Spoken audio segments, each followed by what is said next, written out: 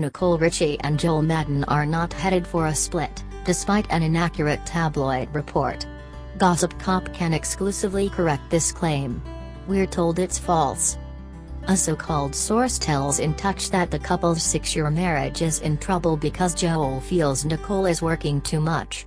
The outlet's dubious insider further purports that the good Charlotte rocker wishes his wife would stay home with their kids, but she's busy running her fashion line instead. Joel has had a successful music career with his band, adds the questionable source, but Nicole's become the family breadwinner. That leaves Joel feeling threatened. The magazine's seemingly phony insider goes on to conclude that things are rocky and friends and family are hoping they can get through this.